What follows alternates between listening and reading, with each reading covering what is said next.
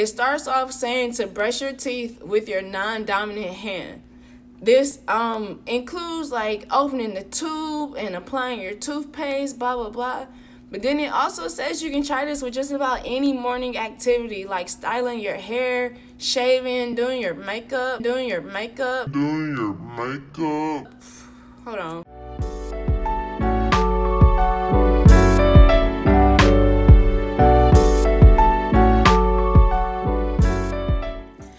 Everybody, what's up? It's your homie. Y'all already know. Welcome to my MS lifestyle, and if you've watched my um any of my other videos, welcome back. Hey bestie.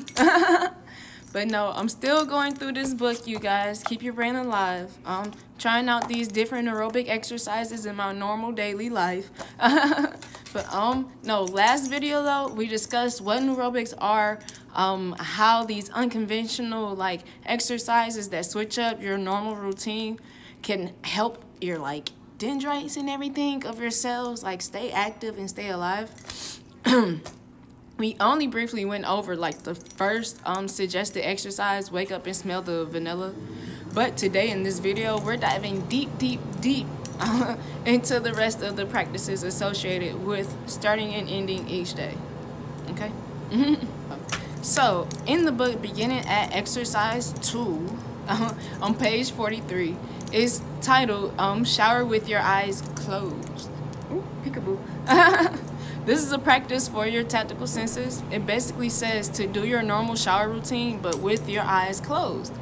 But please, please, please, disclaimer, make sure that you are safe with a secure and balanced stance or seat in the shower. Like before you start this, I like I don't want anybody to get like hurt or injured, okay? but no um like i said it just wants you to um try doing your normal shower routine but with your eyes closed feel me? So you're basically like you're feeling around for everything like the shower knobs to adjust the temperature um your razor for shaving soap um your wash rag blah blah blah. You're just feeling around for all of it. Just whatever you normally do like do it with your eyes closed. But no it goes on saying even though it is probably the least intrusive or time-consuming neurobic suggestion, this shower exercise will wake up the brain as described on how neurobics work on pages 35 through 38 in the book, you guys. Okay, the next suggested exercise though is on page 44 and it's called brushing roulette. It starts off saying to brush your teeth but with your non-dominant hand. This includes opening the tube, applying the toothpaste, turning the water on, blase, blase.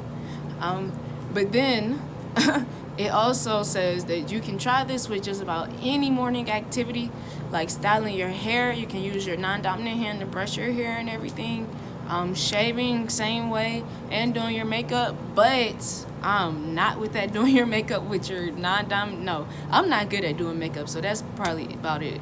But no, there's also smaller things like buttoning your clothes, putting in cufflinks, um, eating, and even using the television remote. Like instead of like picking it up like with this hand, other one. You know, I just feel like this is a great way to use like the opposite side of your brain because the book quotes in the bottom section of the of the page that consequently all those circuits, connections, and brain areas involved in using your dominant hand are inactive while their counterparts on the other side of your brain are suddenly required to direct a set of like behaviors in which they usually don't participate.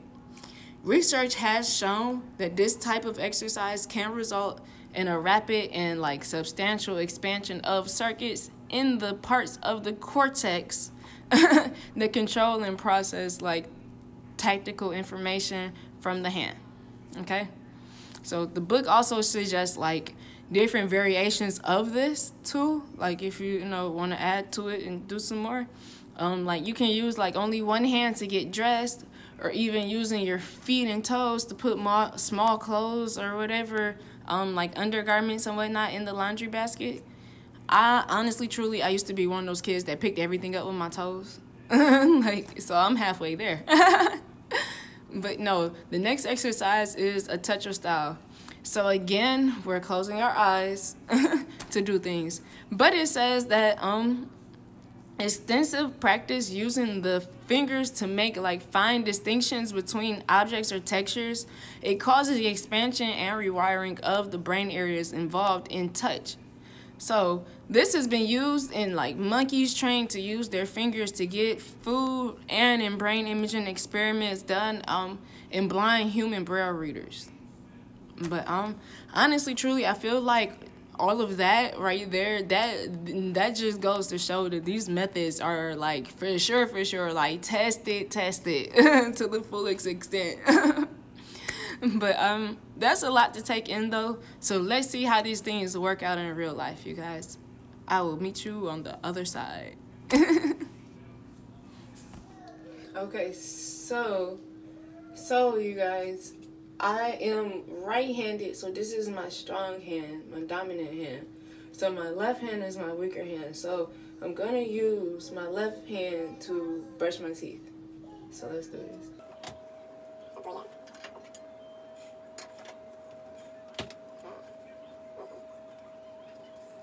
This feels, I mean like, it feels different, no lie. Um, I mean, but just like, cause I'm not, you know, too I don't know how I don't know how to put it. It's like it's just it feels it definitely feels like it's out of the normal. Like this isn't my norm. You can definitely feel the difference. Um, turn it off because we don't waste water. We do not waste water. Okay. We're going. Mm. Mm. See? I'm already messing up. This is harder than this is harder than you would think, honestly, truly. Like, cause it's like you're so used to doing it one way, but like, yeah, do it the other way. I don't even know how to hold it with my left hand. well, okay.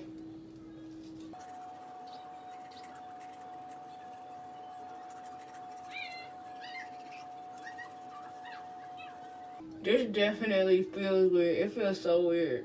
Like, I don't know how to describe it. It just feels weird.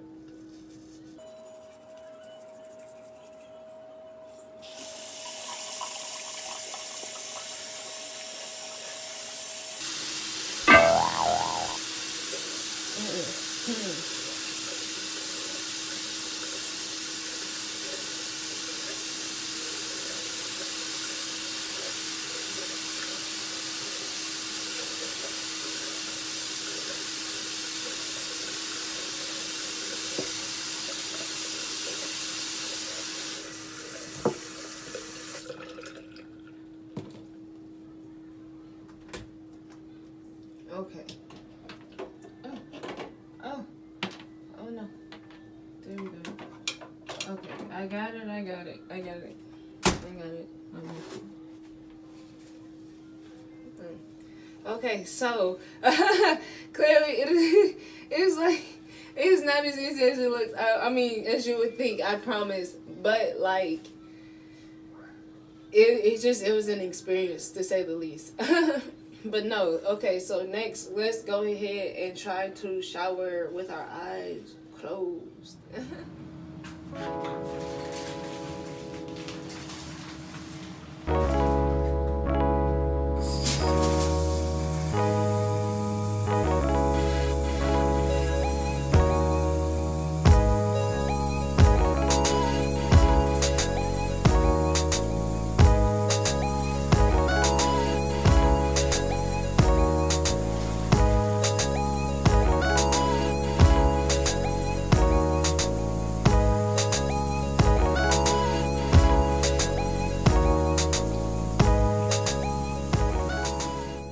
So no lie, you seen how all that went down. Um, honestly, truly, no lie. Some of those things were kind of hard because it's not what I'm used to.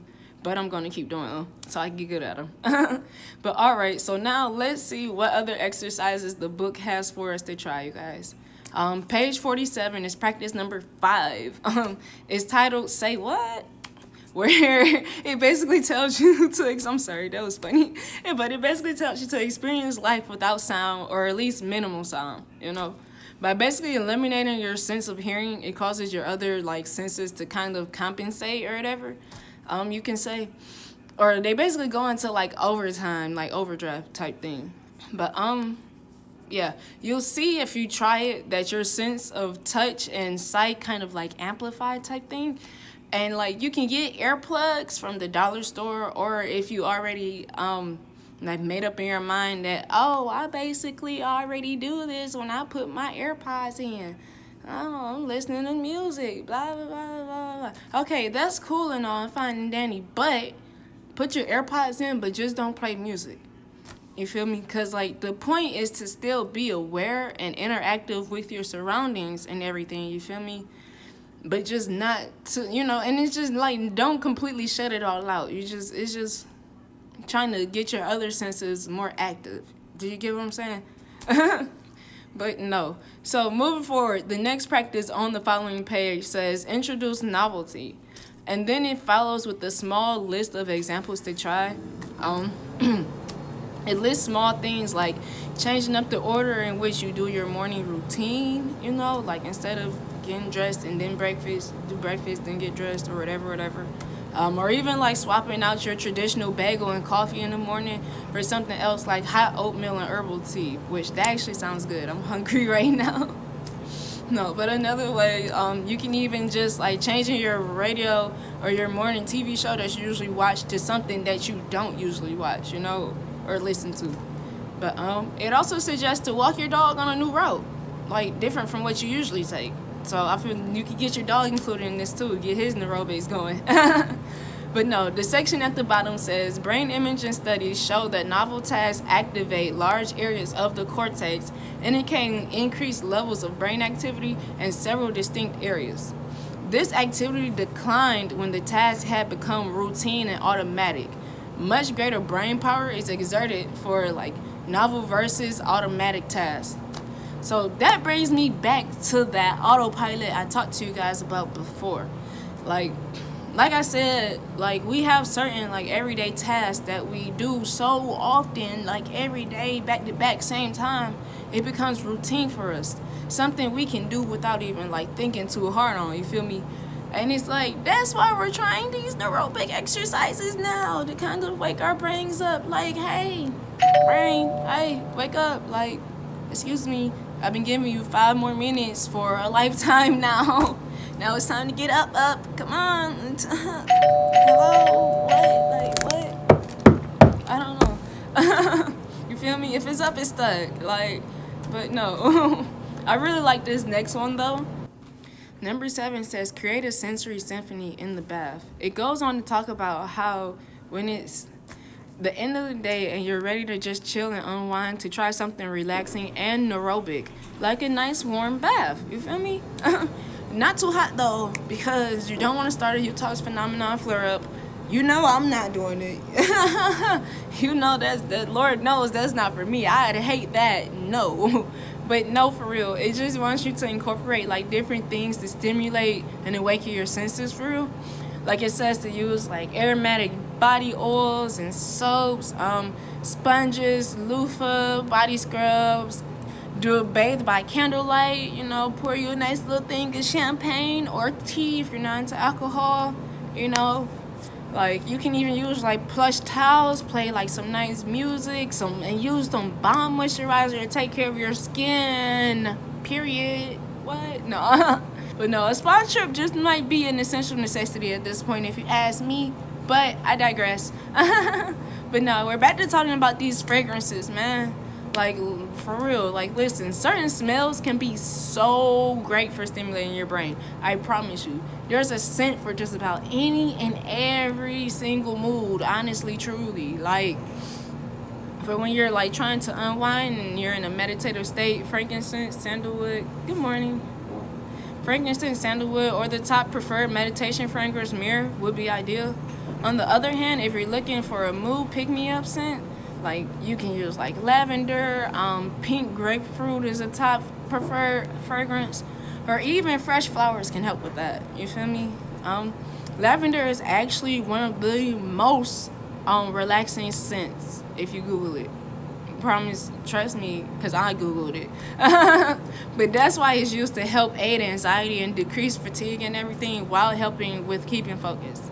fragrances are amazing you guys to say the least i prom like i keep saying i promise you but that means that i'm telling the whole truth you know but you don't have to stop there like the book said you can bathe by candlelight or if you're not into that personally in my home there's like colored light bulbs and like different lamps and whatnot so there's that or it's like you can even just do what I do personally when I want to liven up the room and give it a splash of color and stuff. I just turn on my color changing ring light and set it up to just like transition randomly. It's just flash red, blue, blah, spins everything. Feel me? I'm a good, great millennial. I gotta remember that. but as far as switching up textures, I do sell like different loofahs and sponges with Robin Savon, like this and like this. But um, for something with quicker access and a little bit cheaper, Dollar Tree has plenty of different loofahs and sponges for like literally a dollar. The real dollar dollar store. Same with body oils. It doesn't have to be the expensive ones like Lush or Bath and Body Works makes, unless that's what you prefer.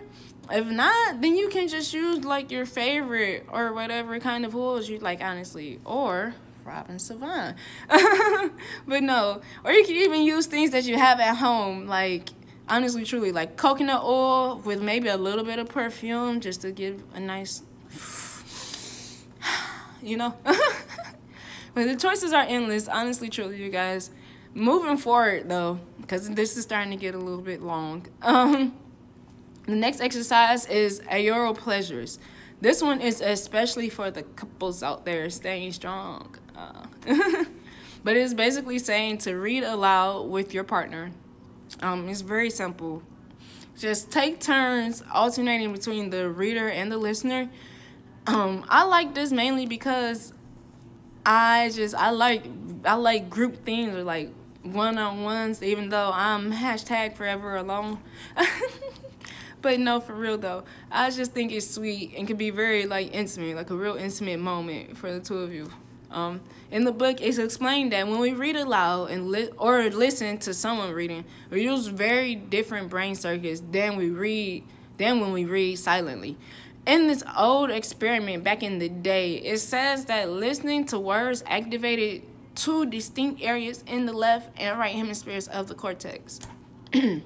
While speaking words activated the motor and cortex of both sides of the brain as well as another like part of the brain called the cerebellum. Um, just looking at the words only activated one area of the cortex in the left hemisphere. Boom. So there's that. And hearing that, lowkey honestly makes me want to like call my neurologist and ask him like, "Hey, Dr. Gilbert, what's up? Like my next MRI, like we should read to each other while you're taking the images, like so I can see." but no, let me stop playing. but no, the last and final neurobic um is the ultimate neurobic exercise. The thing that will stimulate your mind like no other. I'm talking about sex. now, don't get me wrong. This isn't OnlyFans. I'm not giving out tips on how to improve anyone's sex game or anything. Blah, blah, blah. But this right here is spitting facts. I promise you, promise you. Like, honestly, it's just really just applying all the things you did for your sensory symphony bath during that special time, you know, with your partner or whatever. You know, sex uses all of the senses and stimulates the emotional brain circuits too. Because, like I said, you're, you're with bae, you know, or at least I hope you're with bae. You're not just out here doing it randomly. but no, I don't judge people. but wow, well that was a lot to take in, y'all. That was a lot, a lot. I know this video is gonna be so long. Like even after I edit it but if you made it this far, congratulations. You got your first A plus in Neurobics 101 with Miss Brionn. but no, I wanted to hear what um like what stood out the most to you or like what neurobic exercises you plan to use and whatnot. So leave me a comment down below. Um I don't know why I'm still pointing down. Like um I just I told you I see other YouTubers do this. but no, you guys, I have an announcement. I have a website coming soon for your MS everything that I come across from articles on like certain foods you should include in your diet and ones you should avoid to like simple exercises and some discussions, you know, just to help keep your mental health healthy. but no, I'll leave a link to the um to the website in the description some more down pointing. I don't know. There's nothing in front of me. but no, I'll leave a link in the description down below. And please, please, please don't forget to like and subscribe if you want to see more and stay up to date with me and be at the next class session. but always remember, stay safe, stay clean, and Brionn loves you. Bye.